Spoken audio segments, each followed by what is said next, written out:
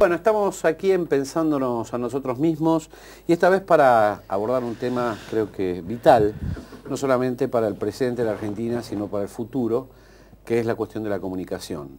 Y para esto invitamos hoy a dos personas vinculadas a esta cuestión, a Damián Loretti, eh, que es uno, diríamos, el autor intelectual, podemos decir, de la nueva ley de medios, y a José Luis de Lorenzo, que preside un, un, medio que surge a la luz de esta nueva estructura legal que el gobierno planteó para el país.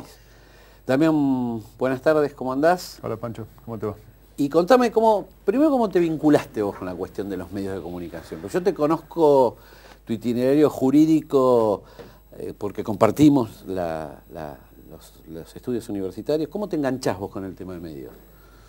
Empiezo como oyente en Derecho a la Información en el 87, en la carrera de comunicación de la UBA, a los tantos días por el ingreso de la segunda cohorte de la carrera, eh, empiezan a incorporar abogados a, las, uh -huh. a la cátedra, que era la cátedra de Landaburo en esos momentos. Landaburo.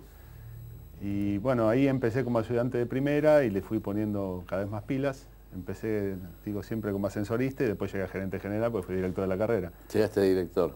Hice el ciclo de ayudante, jefe de trabajos prácticos, profesor adjunto, después titular. Después me doctoré en comunicación.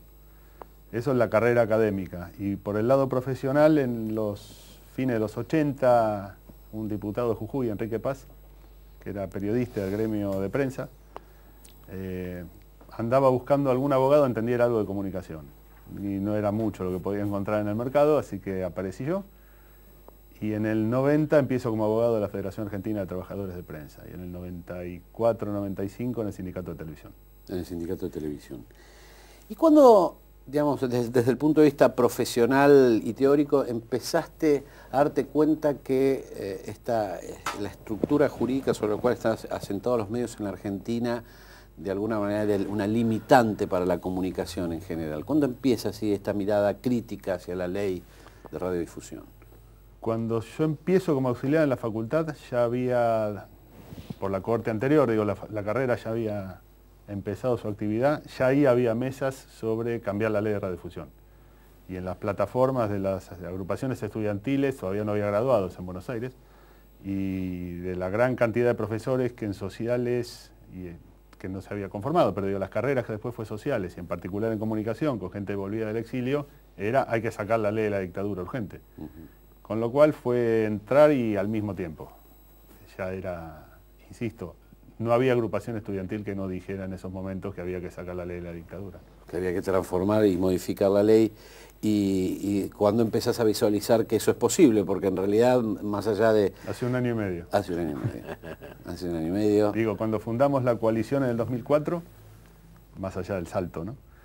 Eh, había, digamos, tres rémoras jurídicas en la Argentina. La ley de migraciones, la ley de entidades financieras y la ley de radiodifusión. Por esa época ya se había empezado a cambiar la ley de migraciones, que el decreto, que es muy bueno, salió hace poco, el decreto reglamentario. Y la ley de radiodifusión además había sido empeorada. Ley de reforma del Estado, un par de decretos de necesidad y urgencia en la época de Menem, otro en la época de la Rúa, con lo cual la situación es insostenible. Y en estos hálitos de algunas cosas se están empezando a cambiar, eh, en una cosa sin precedentes, lo que hoy es la coalición por la radiodifusión democrática, que empezó en una habitación muy pequeña, con eh, organizaciones de derechos humanos, sindicatos, gente de la academia, gente de radios universitarias, pequeñas pymes, radios comunitarias, televisión piquetera, etcétera, uh -huh. etcétera.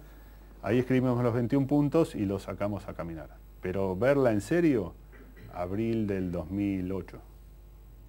Que, digamos, que, que porque, ahí, porque ahí se dio la, una cuestión muy consistente había masa crítica y voluntad política en la sociedad argentina.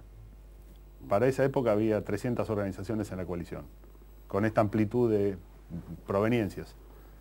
Lo que nunca había habido era voluntad política efectiva del Poder Ejecutivo para tomar esto como política de Estado.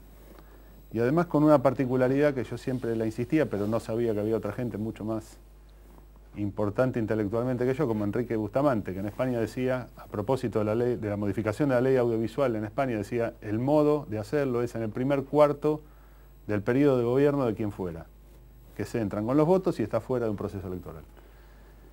Entonces, cuando la coalición eh, es invitada por la presidenta y la presidenta dice, vamos a tomar un modelo regulatorio que viene de las organizaciones de la sociedad civil como estructura de discusión de la ley, para mí quedó claro que ahí estaba la agenda puesta.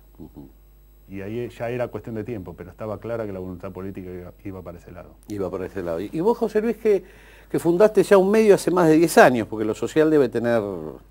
10, 12 años. ¿Cuáles fueron las razones que te llevaron a vos a fundar, a meterte en Internet y a fundar un medio de comunicación? Porque con un grupo de compañeros que siempre militamos, opinamos, no teníamos la posibilidad de multiplicar estas voces, porque eh, bueno, los, medios tradicionales no te daban cabida, o alguna rara vez un artículo como para justificar que alguien que pensaba distinto se expresara. Bueno, nuestras corrientes de pensamiento alternativo, de la que vos formabas parte, no teníamos dónde expresarnos. Y nos cansamos, en mi caso fue porque peleábamos en contra de la CFJP, eh, dos de mis grandes amigos con los que empezamos aquella vieja pelea, Amancio López y Jorge Urriza, fallecen sucesivamente, por distintas razones. Y bueno, eh, como homenaje a ellos y para no claudicar en la lucha eh, en contra de lo que había sido un enorme saqueo a los recursos sociales, como darle a los bancos la plata de los jubilados, nace lo social. Un homenaje a Urriza y a Mancio López. Y a partir de ahí se fue transformando no solamente en la reivindicación de los temas de seguridad social, sino en la contracara de lo económico, porque parecía que el país era lo económico y en realidad lo importante es lo social y la condición humana. Y bueno, fue una expresión y sigue siendo alternativa que bueno, esta cosa de internet que fuimos descubriendo hizo que llegara a lugares insospechados, que se multiplicaran las voces y bueno, hoy digamos el mundo de los internautas es enorme, de un enorme crecimiento, pero es una etapa Ahora eh, amanece esta nueva etapa que ya la veníamos visualizando. Eh, a ver, yo fui, compartí en la gestión de Cafiero cuando Martín García hace la, quijotada de por un rato poner al aire el Canal 6 en La Plata, en la torre del Ministerio de Desarrollo Social, y bueno, inmediatamente tuvo que renunciar porque tuvo un ataque virulento del poder monopólico de entonces, que es el mismo de ahora. Y bueno, y este tema de la televisión, este tema de las radios comunitarias, bueno, es realmente eh, para muchos de nosotros la oportunidad de multiplicar voces y desde los vecinos, en este caso de San Isidro, eh, bueno, poder seguir haciendo docencia política. nuestro único objetivo, no, no tenemos un objetivo comercial, tenemos un objetivo de comunicar otras miradas. Y como este programa se llama, ayudarnos entre todos a pensar nuestra propia realidad, pero pensándonos a nosotros mismos, no lo que otros nos dicen que tenemos que pensar o decir.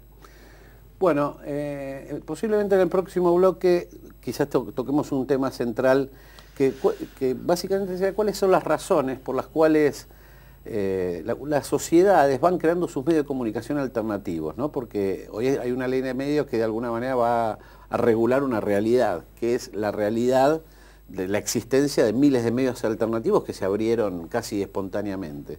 Yo quería ver la opinión de, los dos, sobre todo, por cuáles son las razones por las cuales la gente toma esa iniciativa de crear un medio alternativo. Pero eso lo vamos a ver en el próximo bloque.